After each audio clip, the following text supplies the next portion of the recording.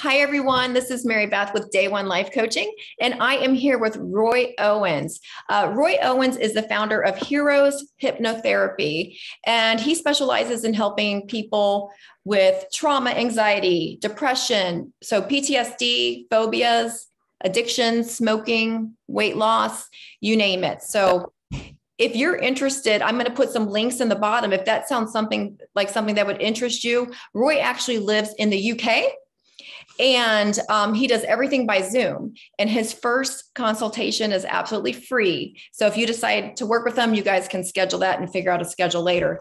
But you can find him at heroeshypnotherapy.com. And heroes is H E R O E S. I didn't want to forget to say that in case you can't stay tuned to the end.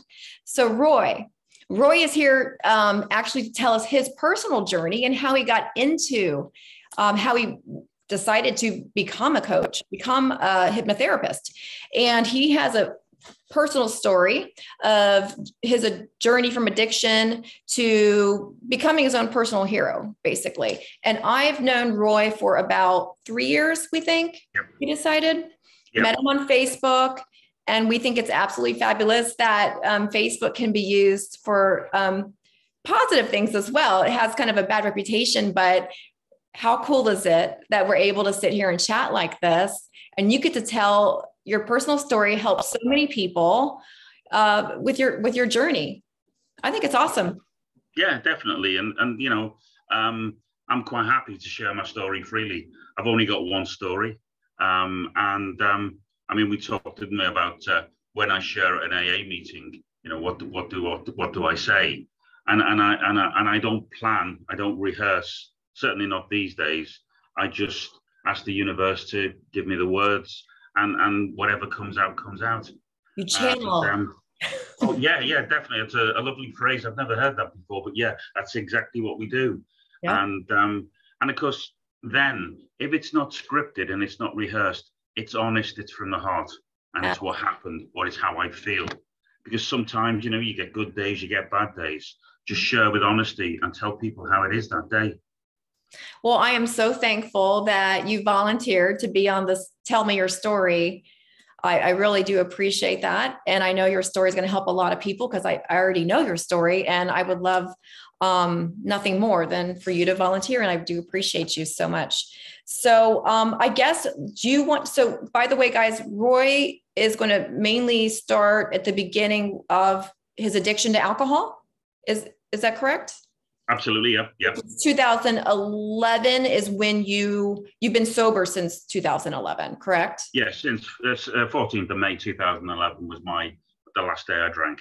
Congratulations. Uh, thank you. And what a day. yeah, I mean that that day is um it's sort of etched on my mind. And um, you know, this um this phrase we have in AA, if you can't remember your last drink, you might not have had it and, and I, I can remember that day vividly, right from the the early hours of the morning when I woke up, um, all the way through to the way things unfolded during the day. And um, it's particularly significant. I can remember not obviously each and every drink, but I can remember the whole day, and I can remember really significant parts of it. And it, it sort of it started around about I would think three three thirty in the morning, waking up with really severe withdrawals from the previous days drinking and the previous days and the previous days and so it goes on. I'm um, familiar um, it's we call it i uh, in the states anxiety. It's a hangover that anxiety and if i can just go, go into the chemistry of why that happens the scientific reason yeah. is um because i'm an addiction recovery coach for anyone who you know doesn't know me and just happened to come upon my video so I'm addiction recovery coach, a law of attraction coach, and with law of attraction, I we work with all subjects. But regarding addiction recovery, I did have to quit drinking alcohol myself because it was just no longer serving me and it was disturbing my sleep heavily and that was like the main thing for me if if if you can't sleep your whole next day is ruined. It, affects everything you do. I need to be on top of my game. I couldn't i couldn't handle that. And i also am very aware how important it is to feel good um, you know with the law of attraction. You have to vibe high or else you're affecting your future literally. Mm-hmm. literally. So with um, the anxiety, what's going on uh, chemically is that your body will it's doing its job to create stimulants when you when you add the depressant which is alcohol. Alcohol is a depressant. So your body is doing what it's supposed to do by creating a bunch of stimulants. But when that depressant wears off which is usually about five four or five hours after your last drink right. um, it's usually about three in the morning for a lot of people. When the depressant wears off and all you're left with is all of those stimulants that that your body created to prepare and the reason moderation quits working is because if you you, you might have only had one or two drinks this time but maybe a couple nights ago or the night before you had two bottles of wine. Well your body starts to you know prepare for what your usual is on your first drink. So moderation's out the window guys. It stops working eventually. You might be able to i was able to get away with it for a long time you know up into my or uh, early 40s probably and i'm 47 now. And i just could no longer handle that cycle of you know the up and down and it the trade-off became not worth it. I mean and i know for for you you had more of a severe uh you and that's what i'm going to ask my next question is going to be like how much did you drink? Because there's a there's a big spectrum of, of addiction. You know some i think someone if it's affecting their life negatively if they're only having two drinks that's an addiction. You know if they have two drinks yeah. a day and it starts to affect them if it affects you in a negative way and you're not able to control it that's an addiction. Um, but then there's you know then there's a severe addiction like i believe you would agree. Yep yeah I your story I, so you were severely addicted roy I, you know, that's a hands up to that one. Absolutely. Um, I mean, yeah, yeah. I mean, heavy drinking was was sort of here in the UK, going out with the with friends, and, and oh, not just the weekend after work. Um, I, I, I mean, I, I started um, working with my dad. Um, my dad's philosophy was a man works hard, he's entitled to a drink on the way home. And that's what we did. But of course, that was never enough. It was, I think, the, the, the phrase I used, I, you know, I was born two drinks short. Because as a child, before alcohol entered my life, I was quite an anxious, nervous child. Mm-hmm. And because alcohol came along, and suddenly that hole that, that was there was suddenly filled with the alcohol, the confidence, the ability to be comfortable in social settings, whatever it might be. Alcohol was quite a powerful tool in the early days but, I'm know, so glad you brought that up because that is the number one reason people drink. Uh, well, there's more than one reason, but so the two top would be a social lubricant to ease social anxiety. Otherwise, why are people doing it? Relief.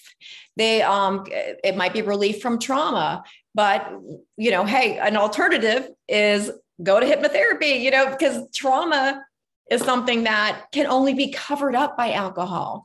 Something like hypnotherapy, that's a way to actually get to the root of the problem, stop suppressing and covering up your feelings with the band aid that's alcohol that only makes it worse, and do something that's actually going to help with that trauma, help with the anxiety.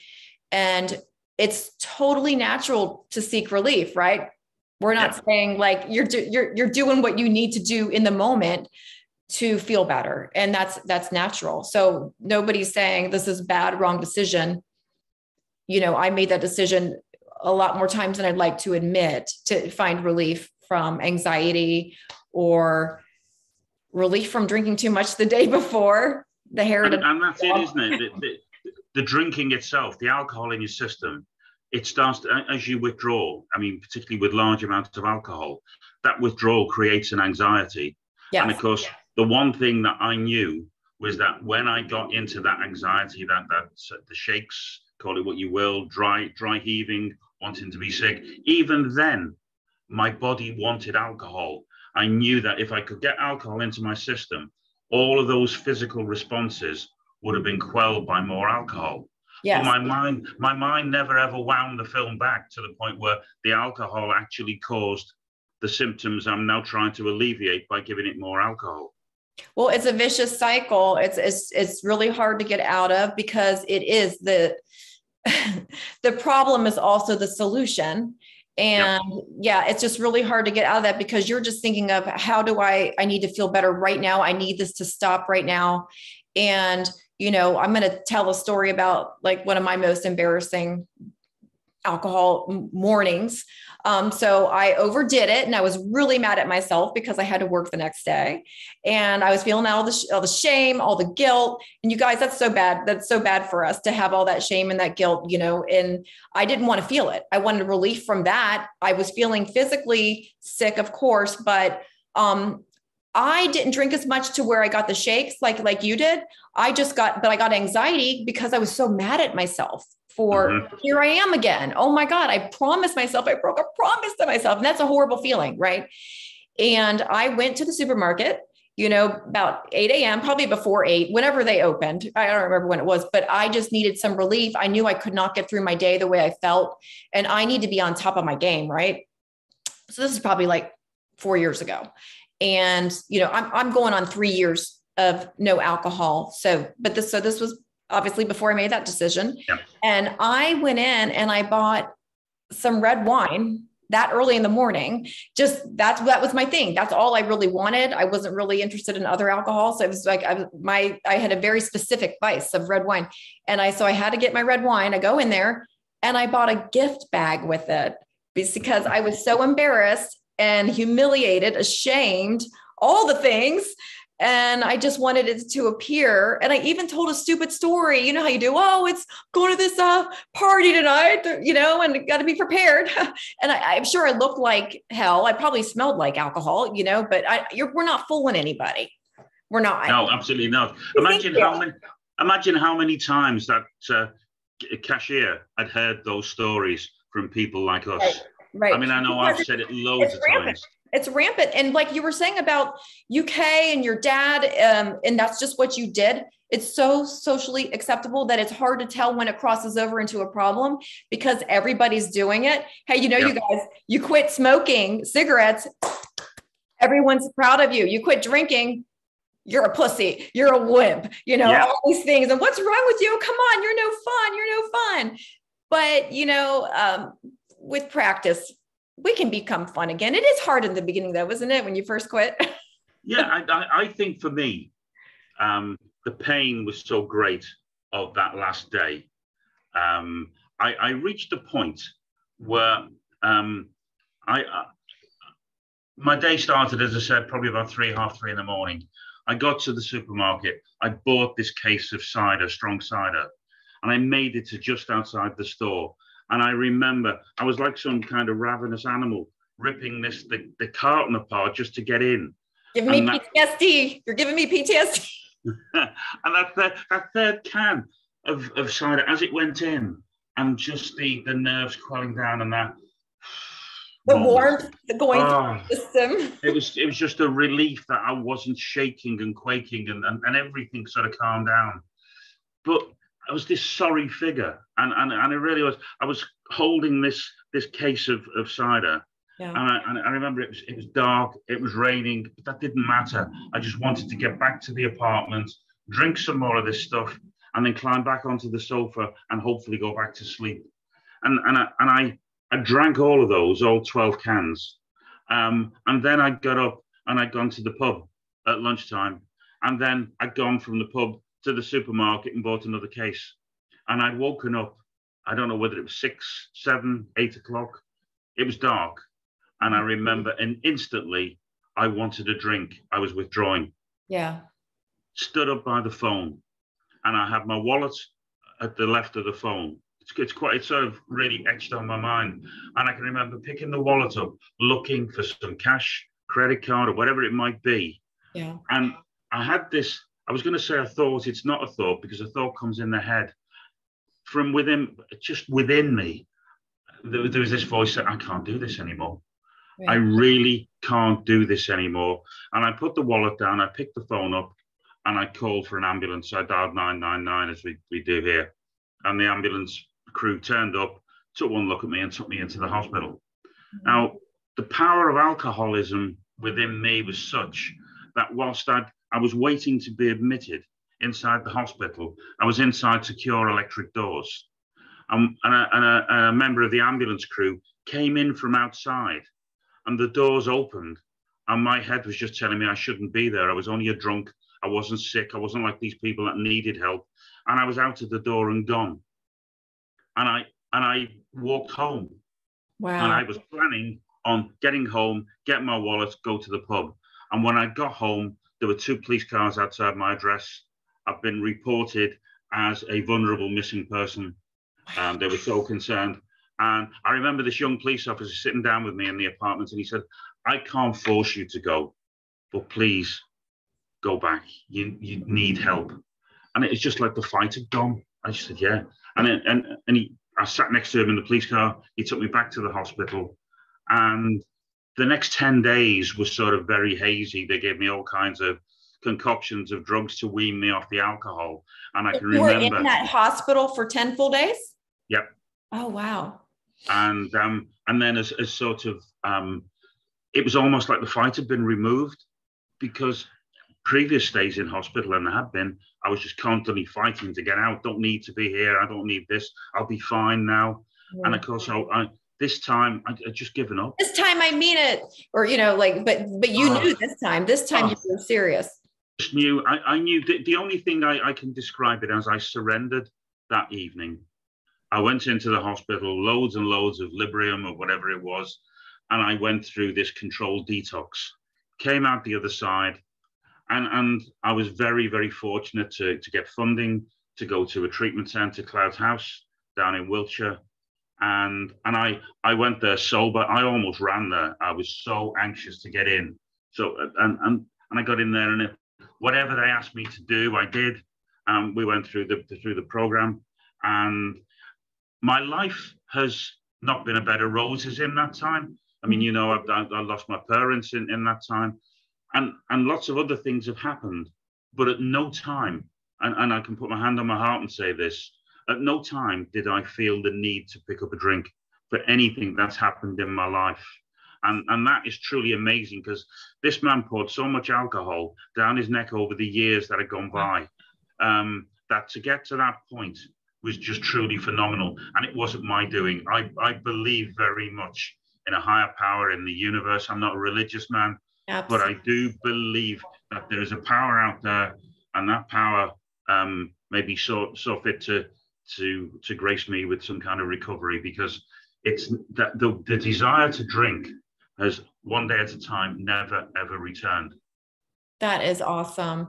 And I believe that as well. And all we have to do is is you know just ask for help, you know, just just ask and and we are given that grace right and i uh, tell me if you agree with this but, but for me when i just knew i was done i would say i was sick and tired of feeling sick and tired that's how i describe it yep. um, but i felt an actual um because i had several times but i'm never again i'm never drinking again i'm done with it you know la la la and then i would um when i do feel better it's easy to kind of forget oh yeah yeah so you know this time when i said it when the day that i knew i was done it was a personality shift. I knew that I knew that I knew that I knew that I was never going to open that window again. I didn't go the AA route. I had been studying law of attraction since like 2006. So I, I knew what I was doing to myself. I knew my life was never going to improve. I was always every day holding myself back from living my best life. So I knew too much to continue to do that shit. You know what I'm saying? I just knew too much. Um, I could no longer take it. I knew that there was no way that I was. Do, do, I ever feel a little bit of temptation though? I think that I do, but I know I would never act on it. Right. And a little trick that I use is very important um, for me to tell anyone who might be listening and might be sober curious or, you know, you giving into temptation, even though you promised yourself, which is a horrible feeling. Um, FAB, fading effect bias. What you do because there's a fading effect bias. That means you tend to only remember the good things about alcohol. We do this with relationships as well. You know toxic relationships. We think of oh that was actually pretty oh i start to miss them and you get kind of a little bit nostalgic and how great it was forgetting that it was hell for the most part right? 95% hell we're going to remember the 5% we, we call it that was my best friend. Alcohol was my best friend. So, so what you do because of this fading effect bias, you want to focus on your worst night. You want to always go straight there. Do not entertain the bullshit. Sorry for my language, but I'm very passionate about this topic. Don't entertain those thoughts that it's going to be different this time because it's not. I'm sorry. You yeah. might be able to moderate for a while, and that was my thing moderation. Like i i could abstain but as soon as i have and i know that i know that maybe i'll do you know if i ever did it again it would turn right back i'd be right back at square one day one square one. So um anyway that's a little tip that that always think about your worst night. Don't let your mind trick you into thinking it's going to be different this time because it's only te- temporarily i could sometimes go 20 times moderate. 20 times the 21st time I'm going to get, you know, hammered. And yeah. then, and then that starts a whole new cycle. And then it's like, you know, like I never quit to begin with. The moderation is out the window. We, we sort of use the phrase instead of the, the FAB, euphoric recall. Oh. Or we remember, as you say, are the really good parts. Yeah. What really could be, again, excuse the language, but a shitty time. Euphoric recall. Euphoric recall. So we just remember. I like it. remember those real highs, the really wonderful times. But yeah. that, as you say, five percent.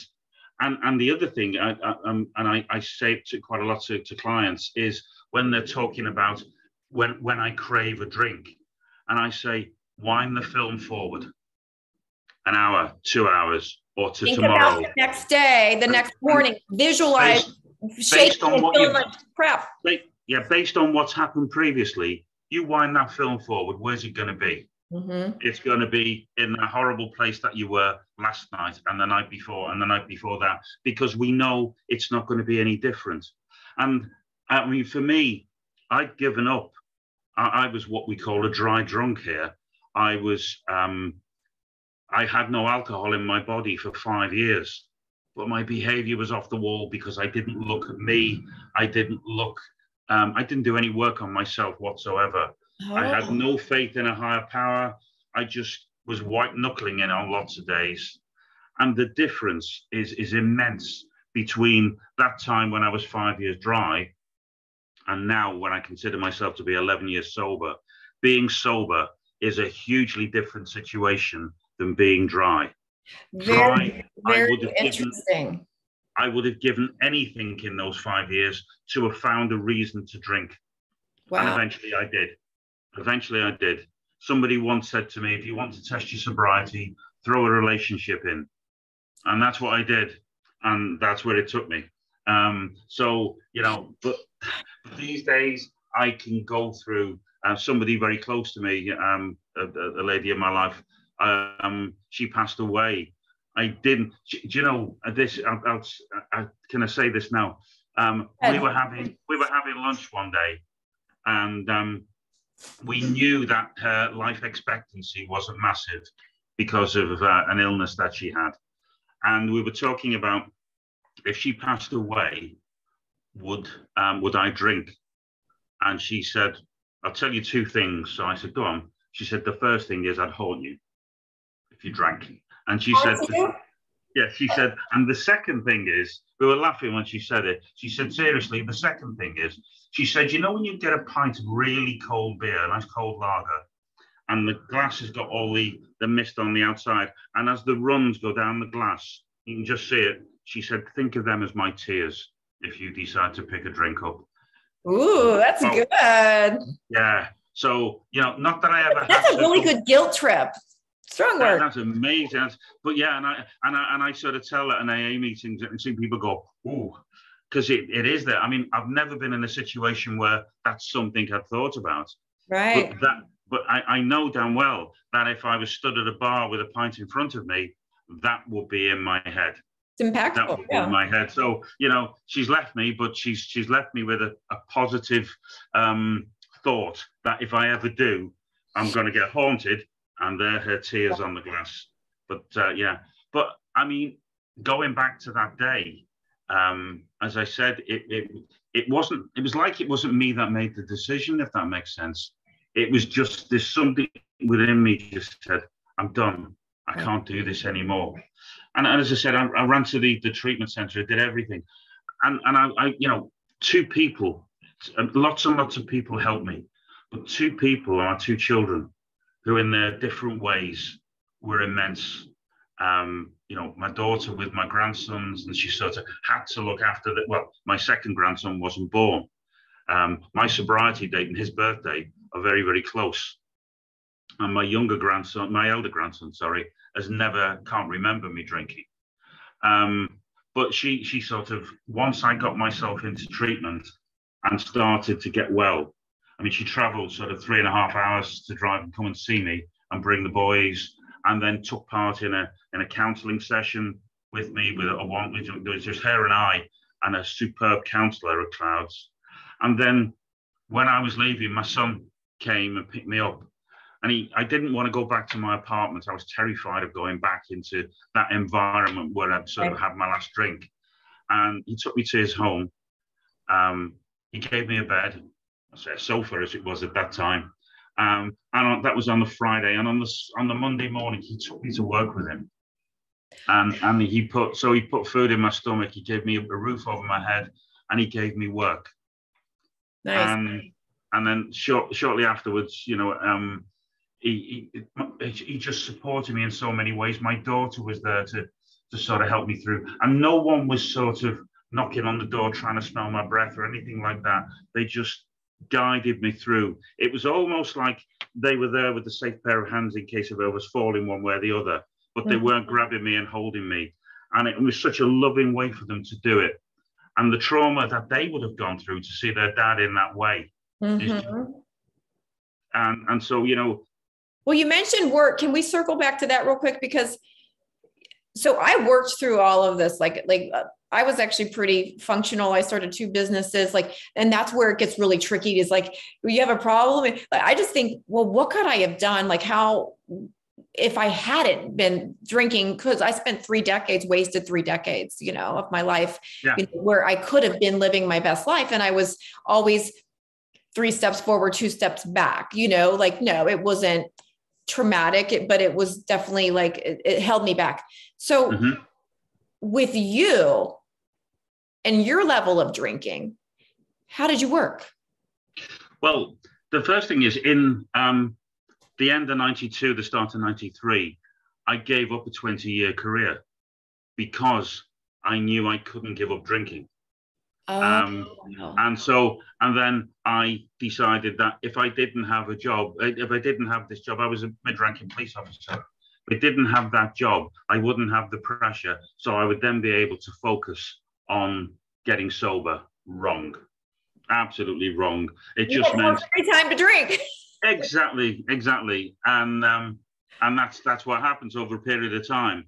Um, and my my my whole past from say 93 right the way up to 2011 is um, Roy stopping drinking, getting a really good job, and then sort of a year into it, 18 months into it, six weeks into it, whatever the time scale was, walking away from it because um, I picked up a drink and I can't function with drink. So the crazy situation was used to be working in the city of London, and I used to get the train, and I'd, I'd have I'd have a suit on, and I'd have a briefcase, and the briefcase was just deep enough to have four cans of cider in it, and I knew where to stand on the platform so that when the train came in, I was by the bathroom. So it was only a half hour journey, and then I would have these four tins of drink in that half hour, and then I would get off the other end, and then the fear hit me. How am I going to get the smell off my breath? And I would then spend the entire day trying to avoid people in case somebody smelled it on my breath. And it was the most exhausting way to it try and live. It does, yes. And I knew pe- people around me were happy with what I was doing, but I knew I was operating on two out of six cylinders. You weren't being authentic either. So like it's hard to live that way when you're not living in integrity. You can't, you're not, I mean, you you have, you know, that we're only sick as our secrets. You ever hear that phrase? Like, oh yeah, yeah. yeah. So, you know, you had big secrets like every day you were hiding. So, and isn't life so much better, so much more liberating when you're able to just, you know, be yeah. yourself and trust yourself. yeah. When when my phone goes and it might be my my son or my daughter saying, you know, oh, where, where are you tonight? And I don't sort of, I can just sort of say, oh, I'm at home or I'm in a meeting or I'm out with some friends or what have you, not trying to get away from the noise of the bar and try and tell them I'm somewhere else or what have you. Yeah. And it, and it was, it was futile because they knew exactly where I was. The reason they were ringing and asking the question was they were just waiting for me to start lying because they knew that's what I was going to do. And right. it must have been awful for them. But yeah. today, I, will tell them exactly where I am and what I'm doing because there are no secrets. I'm not sick. And, and because you're not truly a liar. It was the alcohol. It was it's you mm. weren't being you you're your authentic self now. You were living a lie then and now you're living your truth. Absolutely. And you know what? The one person i lied to the most was me. Yourself. Yep. Yeah. I mean there's no lies so great as the lies we tell ourselves. And and the biggest lie i told myself was you know tomorrow morning that's it. I won't drink tomorrow and of course tomorrow came the shakes, the the anxiety, the withdrawal. I was going to have a drink because I'll stop. I'll stop tomorrow. Definitely tomorrow will be the day, and tomorrow comes. And of course, that's the old phrase: "In tomorrow never comes." Right. Tomorrow never ever comes. And that and so, yeah. shame and guilt is just the, the worst. It's just the yeah. worst. Yeah. But you know, and I think the the if, if I wanted to give any message today, is that there is so much help out there, and and we and I say we, and I, I, class myself as an alcoholic, have to make that decision for mm-hmm. us. Right. Not, not for our families, not for our employers, not for our doctors. We have to make that decision for ourselves. And if it's for us, because let's be honest, most alcoholics are pretty damn selfish people. So if we do it for ourselves, we're far more likely to carry it through. If I do it for somebody else, I'm going to start getting a bit resentful when and I really has to be 100% commitment because, like I said earlier, if when I was doing the 99%, like I leave that 1% window open for that, you can't have 1% window open. It's a personally change. I had to tell myself, no, when I'm at a restaurant, restaurants were my trigger being at a restaurant i want to order a glass of wine you know and i you know you're not that person anymore you know how to tell myself you are not the person who orders no it's like not an option take the option off the table it's no longer yeah. an option don't even no. entertain it for a second that's what you have to do you know the one thing i wanted to mention here as well you've just sort of triggered it is people say to me why don't you drink alcohol free wine alcohol free beer alcohol free spirits when you go I think so what's the point? It's going through the motions. Yeah. Pretty soon, I'm going to go, do you know what? I'm, I'll, I'll have a proper one. Yeah, I'll just have one. Mm-hmm. And of mm. course, and it starts again. It's right. just, yeah. And, and you're being smart. Just don't even go there. No, well, you know, and, and, and so, so this is it. It's abstinence. And then the life starts because alcohol is a very, very small part of most people's lives and and it so the fact that it doesn't exist in my no one has ever said to me employers clients when i work because i've got my, my own business and my own consultancy. No client has ever said to me do you know what? I don't want you to work for me. I i, I don't trust people who don't drink. No one has ever right. said that. Right. No. One um in fact some people go how, how you, you may have found it yourself. When people find out you don't drink they'll share with you a little bit of their story and say do you think i'm an alcoholic? Lots of people want to know. Lots of people have got questions, yes. and they start to ask. And, and it's sort sober curious. They're sober curious. They're like, yeah. they've been kind of questioning. They're not sure. You know, they have days where they're kind of like, maybe this isn't working for me anymore. And that's who I think, like, some of my clients, you know, addiction recovery is one of the things that I do. And usually I'm not so much with the active addict, you know, um, so much like your severity. It'd be more like the sober, curious people who are just realizing, you know, maybe it's time to give this up. You know, it's it's just taken me backwards, and I'm stuck in life because it's always, like I said earlier, three steps forward, two steps back, and you're just never really, or two steps forward, three steps back. I don't know. It was different. Yeah, different I, I, I, know, I know what you mean. But you know what? When people say to me, "Do you think I'm an alcoholic?" I would never ever judge and say, yes, I do, or no, I don't. I might have an idea in my head as to what I think, but I'm not going to verbalize it. But um, somebody once said to me, Do you know, if your drinks cost you anything more than money, you might want to ask yourself some questions. Yeah. And, and well, I mean, if, if you don't have control, if you um it's if it's affecting your life negatively And I think it's something only the person can answer for themselves. Because i think let's be honest even a normal drinker is going to have a bad night. Even a normal drinker is going to like overdo it one night at new year's eve or a party and and that's not who we're talking about right? Like mm-hmm. we're not saying no one can drink alcohol is evil. Some people can drink normally. Um, and there is something there's an opiate blocker. Naltrexone? Have you heard of naltrexone? No don't think i have you're going to want to um, you're going to want to look into this just for people that might actually need it. Obviously you don't anymore. But there's a difference like people who get addicted to alcohol our brains truly react differently to alcohol. So we get more pleasure. So there naltrexone's an opiate blocker is also used um, to help people with um, uh, food addiction. So some people would take it 30 minutes before they would eat, and they wouldn't eat as much because they're not deriving as much pleasure. So right. a, a, lot of addiction, um, I would go so far as to say it's a little bit compulsive, a little bit OCD like behaviors. A lot of people who have a problem drinking also have a problem with binging somehow with food. You know, there's a connection there in the brain. And that's why naltrexone is used. It's very cheap. But um, at one point, I ordered it along with a couple of my friends who we all had, you know, because it's hard to tell when you have a problem when all your friends drink the same or even more, and then you're like, "Oh, I'm good. I'm good. We're all we're all doing it." Um, but we were all three questioning ourselves at this point in time. We ordered it from, um, I think it ended up coming from India, so it took a long time. We we're all excited to get it, and we take this one pill. There's even a documentary, one little pill and I, you know, I'm, I'm going to put all of this stuff in the link in the video, including Roy's contact information. I will put that in there because this is important information for people. It has helped um, for people who just can't, they don't want to let go of drinking. This pill could t- save their life because I've taken it. It's actually one of the main reasons I quit drinking is because I took this pill 30 minutes. It's either 30 minutes or an hour before I started, before your first drink. And what it does is it takes that pleasure away. It's an opiate blocker.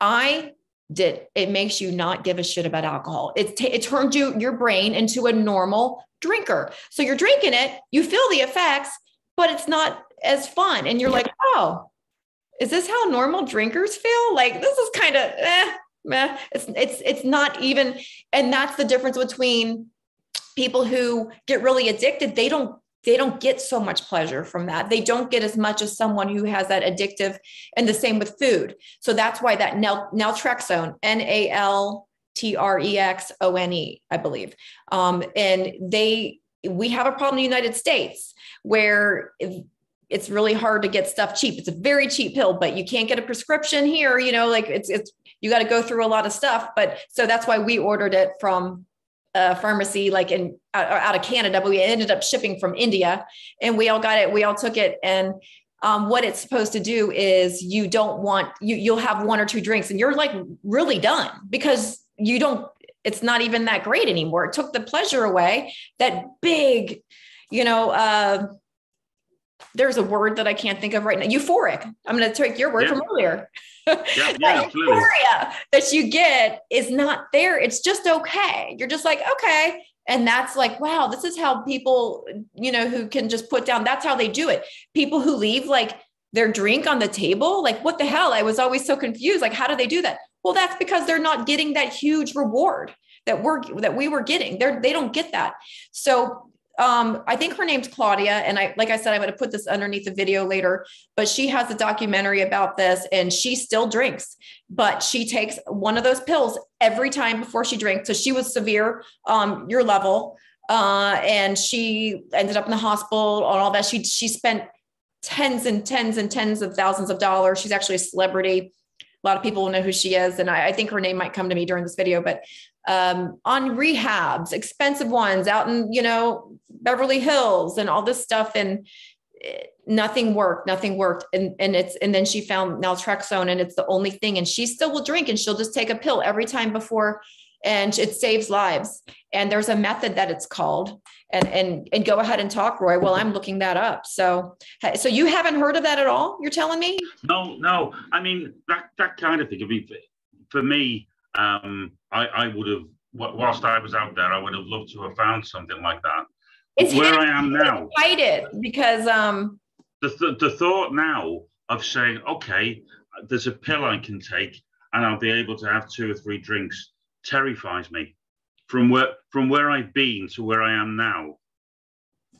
I mean, there's always there would always. Oh, I don't this. recommend that. I recommend no, no, just no, no. yeah. You've got a problem. Yeah. For, for me, you know, it would be, and what if it didn't work? What if, and, and the thought of having to go anywhere near where I was, because the, the one, the problem I would have is that I, I think if I pick up a drink, it's more than likely going to kill me. Yeah. That's yeah. where I'm at. And that's you would probably not take the pill. So you'd be like, no, I don't have the pleasure. So next time I'm not going to take that pill. But that's what I was saying is it took away what it did to me is it revealed that it's not the alcohol. That's so powerful. It was my brain causing that huge reward that you know that released all the endorphins or what yeah, you know all the, and, and all, the, all the things. And yeah. it, the, suddenly the alcohol just lost its you know shine to me. I was like whatever. This is just whatever. Because all i had to do was take an opiate blocker and it was meh. but her name is um, claudia christian and the documentary is One Little Pill. And then she also did a TED talk. Um, she did a really good TED talk that I saw. And she talks about how the same thing, how uh, this pill t- saved her life from uh, how I saved myself from from alcohol. So I'm about to pull that up. It is called How I Overcame Alcoholism, Claudia Christian. Um, so you might recognize her. I recognized her face for sure. She's been in a few things, and um, it's called the Sinclair Method. The Sin- Sinclair Method, S I N C L A I R, um, and she just kind of it's it's been out there, and she brought it out uh, into the public and did a TED talk. It's fantastic. One of my friends actually found it and sent it to me, and then we went on that little journey together. And like I said, it just took away the appeal for me. It was so helpful but in a very different way than i thought it would. I thought at that time this is a way i can keep alcohol in my life and moderate. But it made it i didn't even want to drink if i wasn't getting that pleasure. Yeah right? if, if you take away that euphoria that hit that the um, calming effect, as you say. You may as, so so you you you you're paying not a fortune, but you're paying quite a bit of money for something which is little more than a soft drink to you. So why would you? And yeah. I can, I can, I mean, you, I still, you still feel so. I don't want to say you didn't get a buzz because you'd still feel, but it just was like 15, 20% of the, you know, mm-hmm. you, the, no, the, the, goodness. Yeah. goodness. You know but, what I mean? Uh, yeah, I mean, I, I sort of um, you see quite a few people um, sort of seeking hypnotherapy around um, alcoholism at the moment, and um, when you start to talk to people, the, the the whole variety of reasons that people have for drinking, there's not one common reason. Um, you know, and it's gone up since COVID, since the pandemic. Like, you know, I know a lot of people weren't able to get to AA. You know, they weren't able to. Go. I mean, you know that it that couldn't have been good. You know, a lot of people well, reported.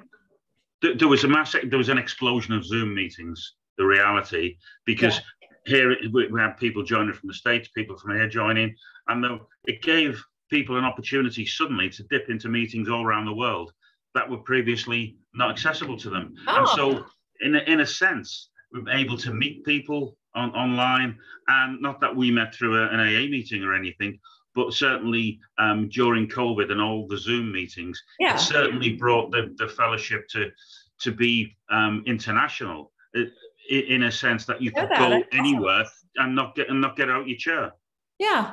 That's great. Well, I thought that people were, and you know, I'm sure it's different for different places, and, and but I heard that people were really drinking again because they were freaking out and not able to go that you know i guess certain people would need to be in person you know zoom yeah. wasn't enough of a connection and they resorted to just going you know backsliding essentially oh, yeah there, was a lot of that um, a lot of people were, were picking up um, because you know you've got people who've got a problem with alcohol and then take them into the situation that covid brought mm-hmm. where we had you know fears of employment fears of homelessness fears of illness, the loss generalized anxiety and then we're picking up on oh. collective anxiety too you know there's a collective consciousness and we're tapping in we're feeling all of that energy is out there and yeah. we're, we're, soaking all that in it was you know it's still it's still not gone we're we're going to have ptsd from the pandemic for a while you know oh i, I think so for, for quite some time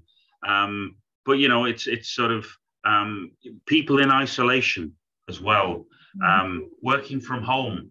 And, and now that as, as a concept seems to be a great thing to do. But you need that there's something about going into an office going into a workplace and having meeting connection. with other people having that connection having that support.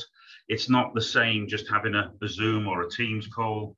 That face to face is we didn't realize i think how important that was until we didn't have it. Isn't it so, so true? You know you don't know what you've got till it's gone absolutely yeah, I can tell stories when I don't know the origin, but I do. I'm going to just say maybe you've. I'm going to do it anyway. So there's a there's a um, uh, like there was a study done, a scientific thing with rats, and it's always sad to me because I don't like that. You know, they take the hit, but it's what happened. So they they were studying like they were giving rats cocaine. I believe it was mm-hmm. cocaine, mm-hmm. and they would have so you know they would hit this thing and you know they get, get it, hit it again hit it again.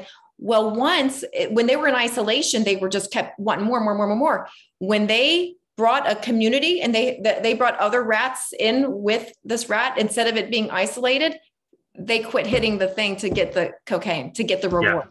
they stopped. Yeah. so it was all about connection versus isolation so it had to be horrible for people who even like some people might have just started their journey. Like as soon as they, oh, I'm going to quit drinking. And then we pandemic, you know, and that would be really bad timing. and and the other thing, you know, you supermarkets and the, the, the large stores were still open, and you could see um, people shopping. Um, the the tops of the trolleys were getting bigger and bigger and bigger with cases of booze and sort of there's colossal amounts of booze coming out of supermarkets because people were home, there was nothing else to do. That was our yeah, default. here too. yeah. Liquor yeah. shut down here. We had essential things, essentials. It was one of the essentials we kept open here. yeah. Ice cream. Um, ice cream. Uh, like I, I thought that was an odd one, but ice cream turned out to be essential uh, uh in my neighborhood, at least.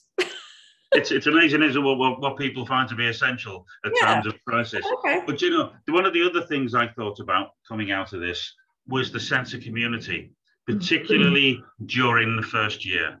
Um, we we had all kinds of things going. One of the lovely things that used to happen here.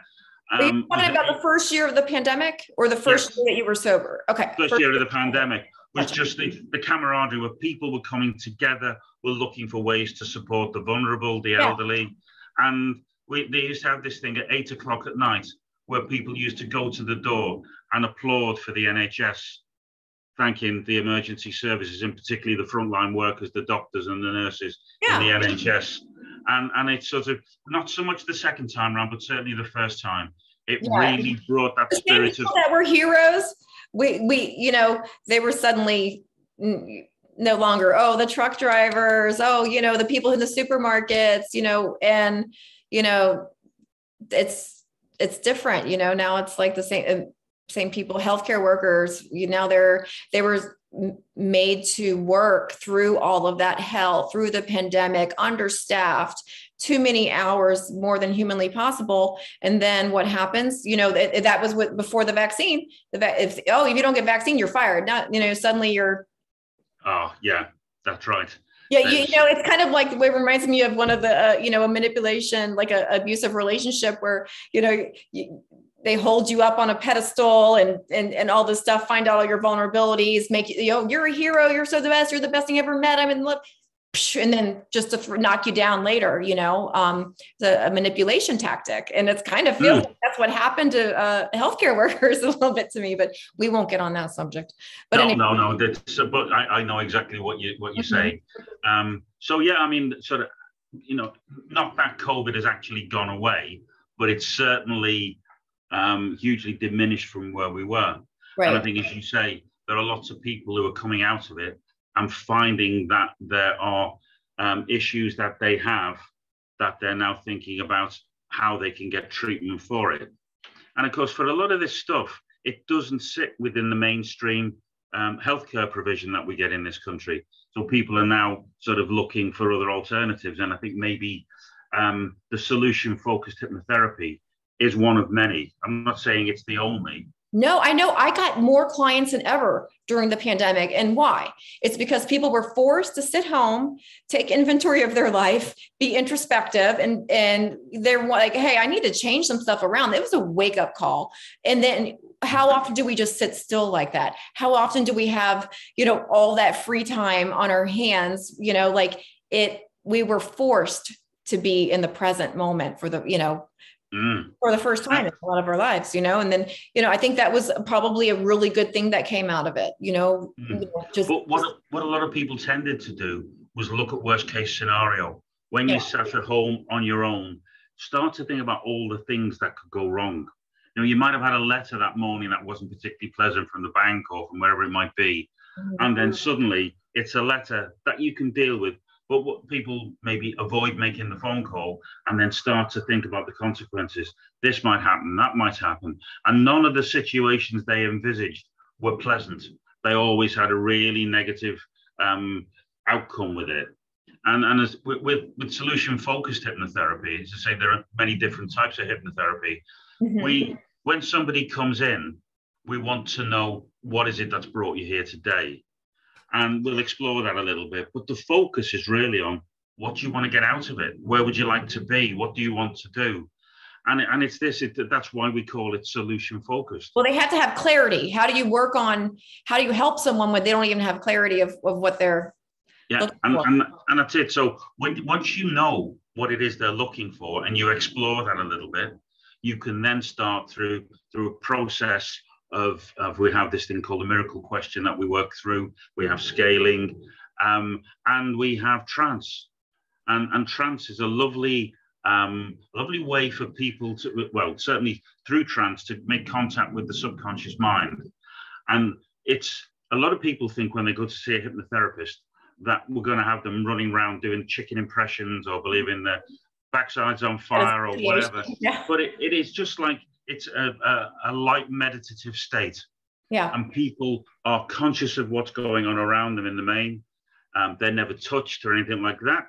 It's they're just relaxed and they're listening to the therapist with some uh, background music, just going through scripts and language patterns that are appropriate to them and their particular issues. Mm-hmm. And it's amazing, sort of just at the end of one session, when people have gone through that, just how relaxed they feel and with solution folks. One of my friends, you know, and she said that yeah, she was she was really surprised about you know like I guess visions start coming. I've never done it personally, but yeah, she said that how relaxed she was, and she started getting vis- visions, visuals. So like so, let's go over this again. Anxiety, anyone who's suffering from anxiety or depression, some sort of trauma, um, and by the yeah. way, trauma is something different for everybody. It could be something big, but it could also be something small because it's we can't compare traumas because it is the meaning we attach to it. I could go through the same exact thing Roy went through, and maybe it affected him in a completely different way. Like it could, like no big deal to me, and it like really had a huge effect yeah, on his absolutely. life. And so we can't say, well, you know, I was fine when that happened because everybody's different. Everybody's going to respond differently. And then I might respond to something else might f- trigger me that's not going to trigger you. It's just we can't we can't compare.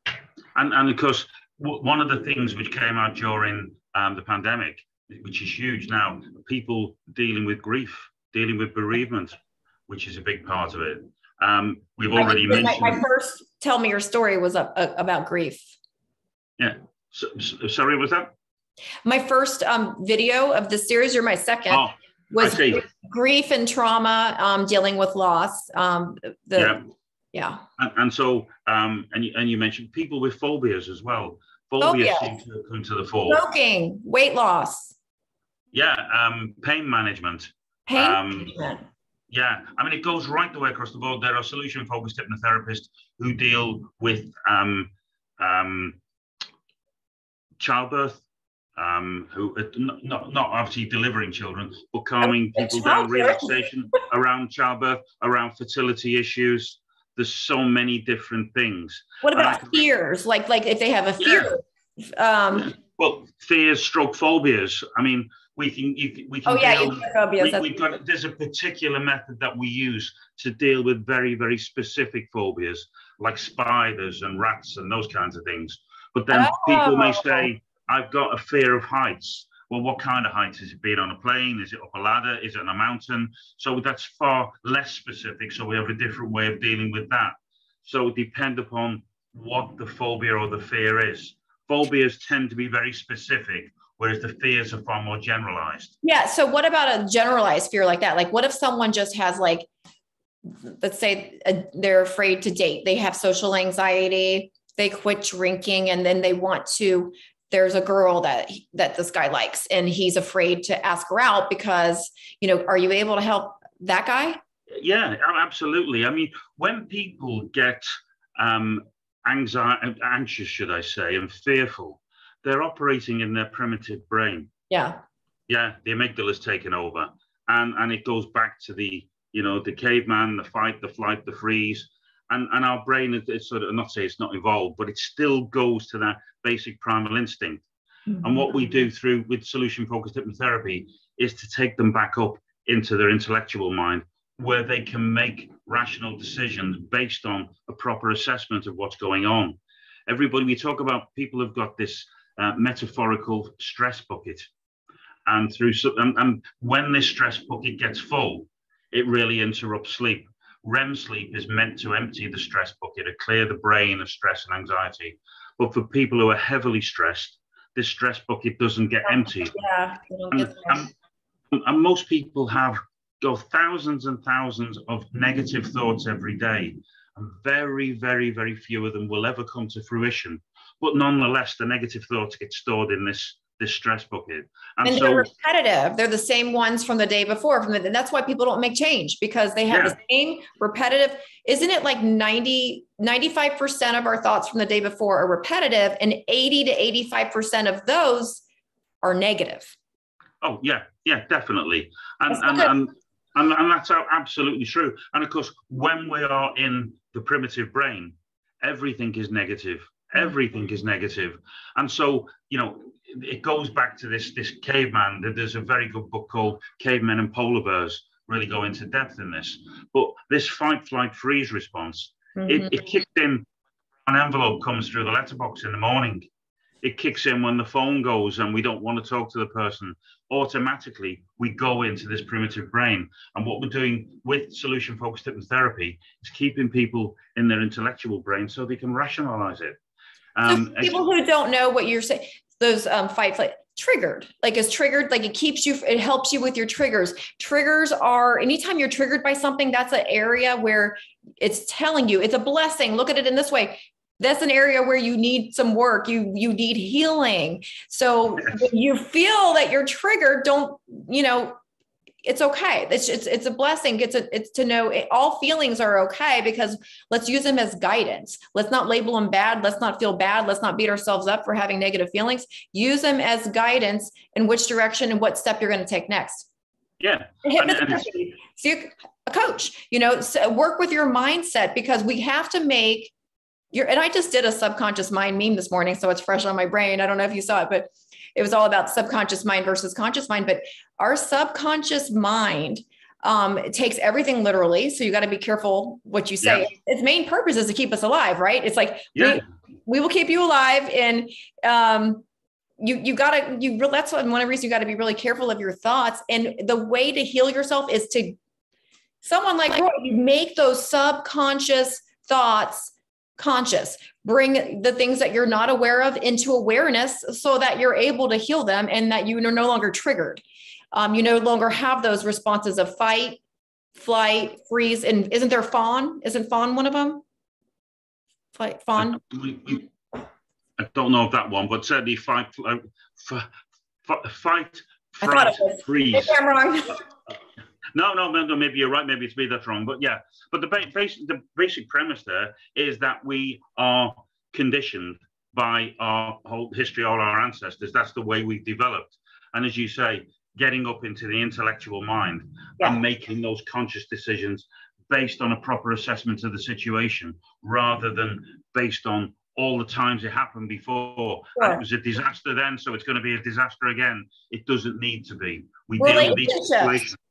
Like with yeah. relationships, like you could be like everything's fine and you know like it's no big deal but someone that you're in a new relationship they could say something that reminds you of something someone in your past did and then you're suddenly freaking out on them and you don't even know why and there's a reason you don't know why because it's your subconscious mind you're not logical in the moment you are not even able to reach your conscious mind when you're in that state um, when you're when you're triggered we'll just call it triggered kind of put it all together and you, you can't even think logically and that's why you see perfectly you know like mature adults can like go backwards into this childlike oh primitive. Yeah, definitely. Yeah, definitely. Out of the blue, and you're like, where is this coming from, man? And it's not. It's not even about you. It's about their past.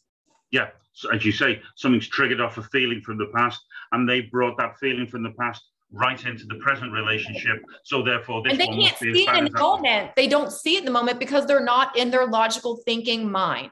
They're not mm-hmm. there. So good luck trying to convince them. They can't hear you.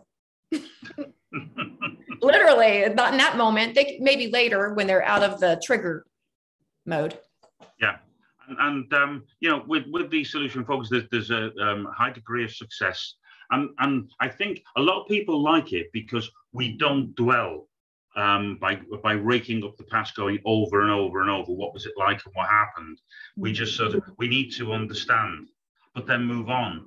And and sort of the analogy I use is there's a reason why the rear view mirror in the car is very much smaller than the front windscreen because the front windscreen is where most of our attention goes. We have a little bit of a look every now and then, but the front windscreen is where we need to be and looking out into the future. My coaching's the same way. And actually, coaching should be that way. You shouldn't be focusing on the past. You should be, okay, yes, we got to talk about the past a little bit, right? We got to like yeah. figure out like, you know, what your goal, figure out, but but it's not about telling a victim story. It's not about going over and over and over the things that went wrong. That's not how you heal. The way you heal is, you know, we, we do need to figure out how you got to where you are, but we got to focus on the present. What are we going to do next? What are the next steps? Don't stay in that old vibration. That's you how people get stuck. They they kind of create a yeah. dent. I I think people um, start to like their identity even when it is negative. They that's who they are. They don't know what to do without that victim role because they've always been a victim. And instead of being a hero like like the hero's journey and i kind of want you to bring that up a little bit about the joseph campbell heroes. Is it joseph oh joseph, yeah. right? Was he the um, joseph campbell. Joseph isn't he the one isn't it, is it joseph campbell?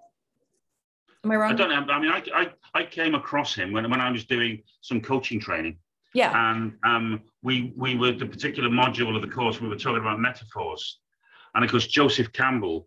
The, this this this film, The Hero's Journey, is all about Joseph Campbell. Um, and there are some really really um, famous celebrities on there. Who, I watched it because you told me to watch it, and I oh, had. what an amazing yes. film! And and and the so it's a powerful powerful um, piece of filmmaking. Um, but it is, it's all about the hero's journey. And I love the bit about if you are approaching, um, if you're going into a forest and there are pathways into the forest through the snow, we don't follow one of those. We follow our own because it's our own hero's journey. We're not yeah. following somebody else's.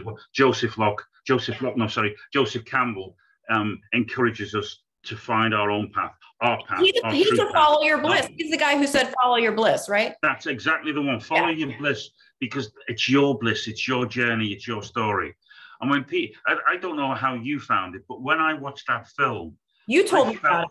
Yeah, I know. So, so when I say I don't know how you found it, when what how you found watching it, what you, you sort of got out of it. Oh, found it. Okay, gotcha. Yeah, yeah. Um, when I found it, I found myself really sort of empowered to, to do things and, and sort of I can do this. And I just found when when the film finished, I just sort of sat back in my chair and thought, wow, I was absolutely blown away by it. There's such power in that.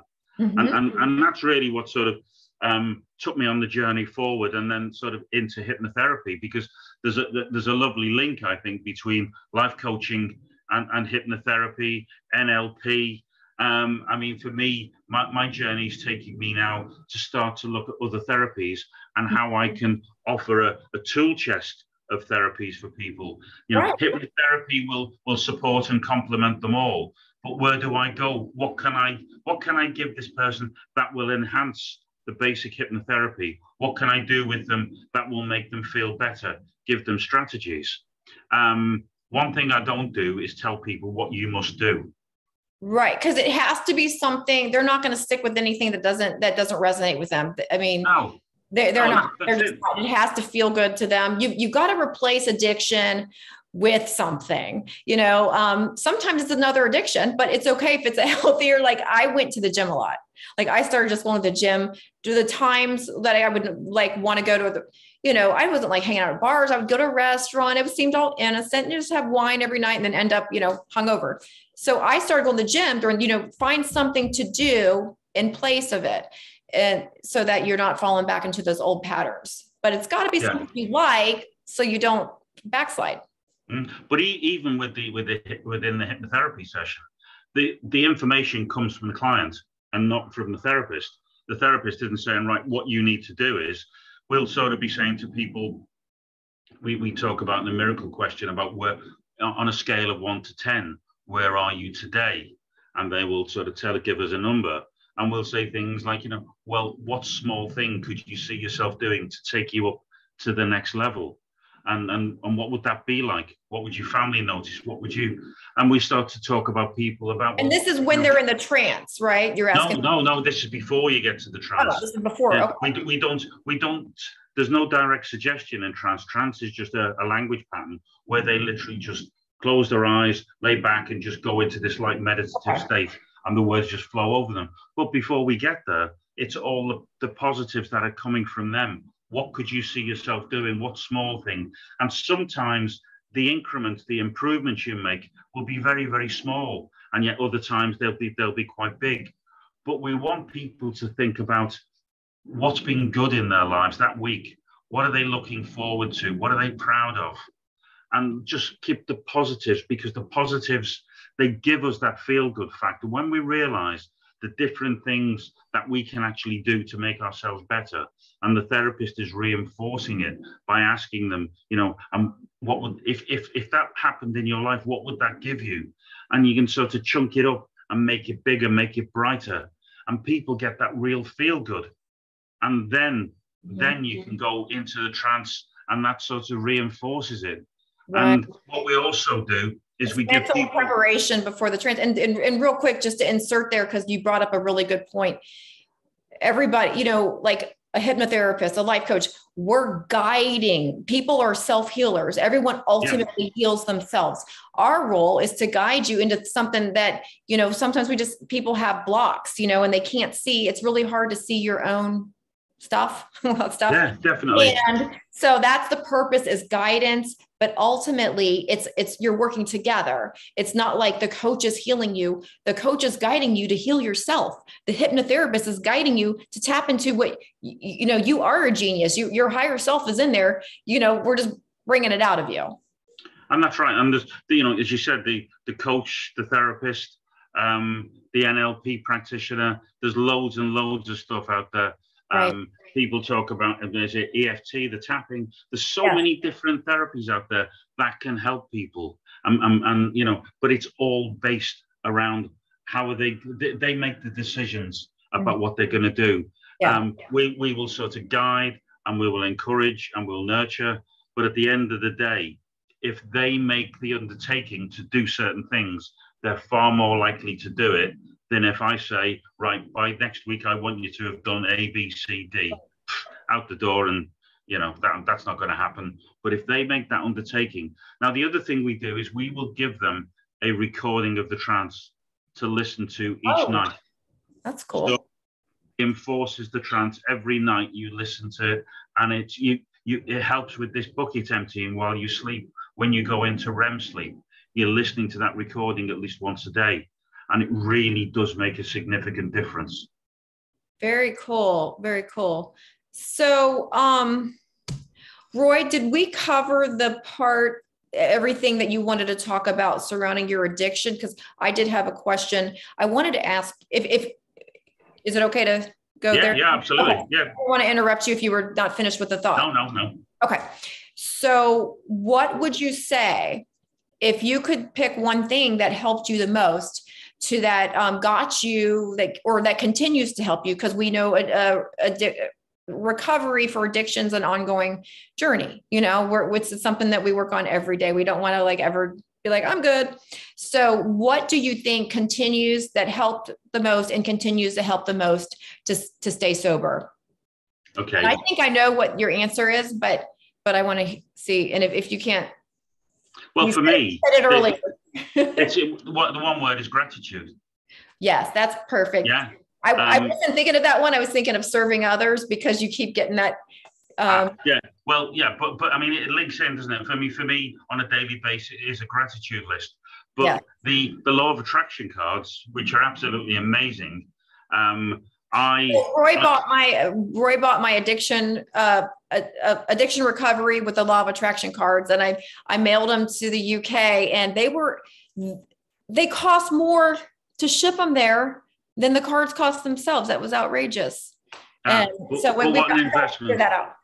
But what an investment! Because um, uh, over the three weeks that I, have I've been using them, I, I, stay in hotels a lot, so I always have them with me, and it's my ritual in the morning before I get on with the day. Get the cards out, and, and I sort of shuffle them, t- tap it three times, and then shuffle them, and just go to one of the cards that resonates.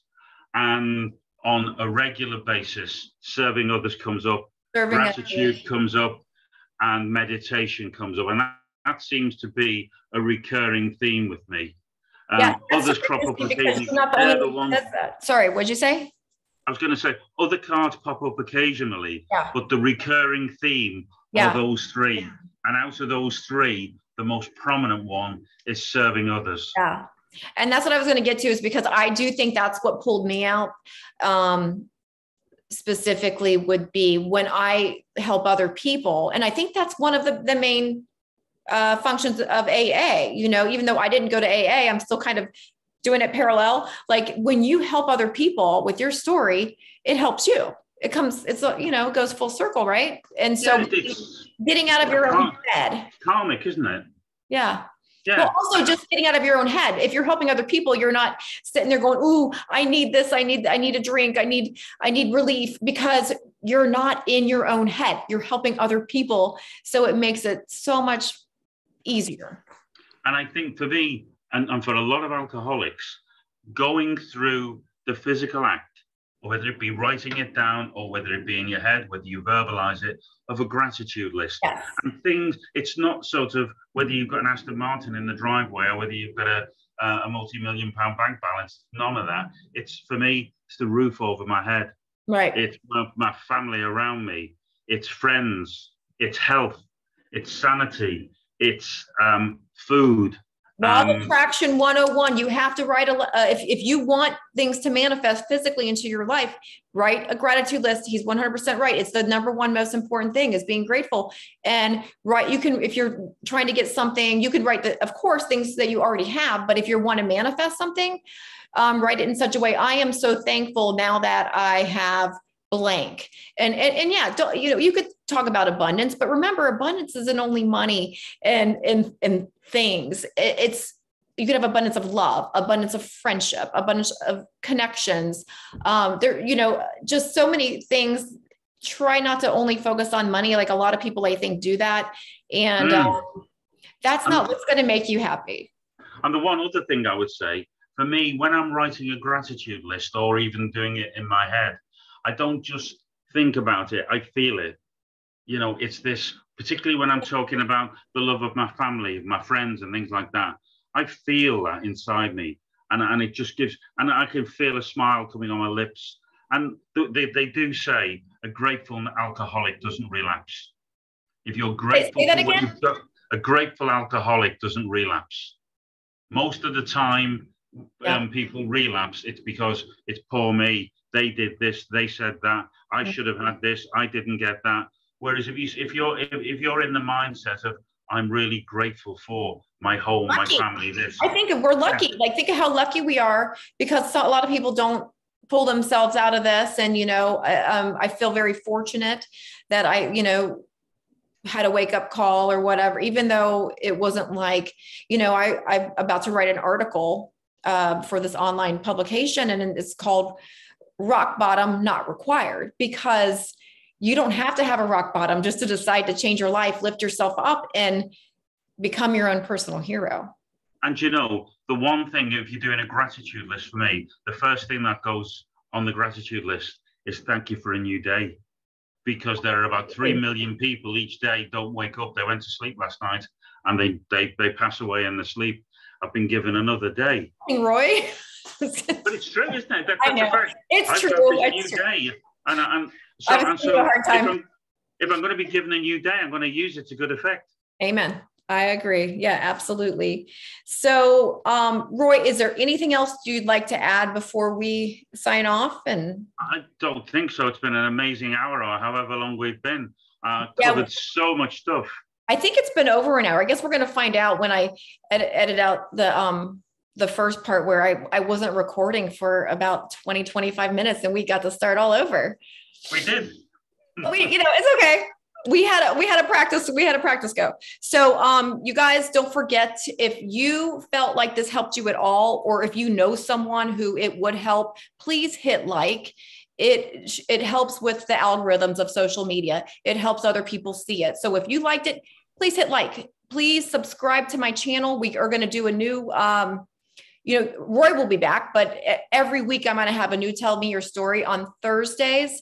So subscribe to my channel day one life coaching. If you're not watching this from youtube it's day one life coaching.